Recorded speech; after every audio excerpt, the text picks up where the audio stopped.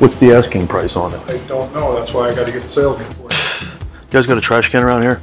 Um, Thanks. I'd rather see it in black. You guys mind cutting uh, the video while I'm... What's the tires on this? rather you didn't kick them. Oh, I'd rather I check them out before I'm gonna think about purchasing. Chuck! I'm not the salesman, I'm the doorman, I prefer you didn't eat your food or drop your shit all over my floor. You guys don't have somebody to sweep?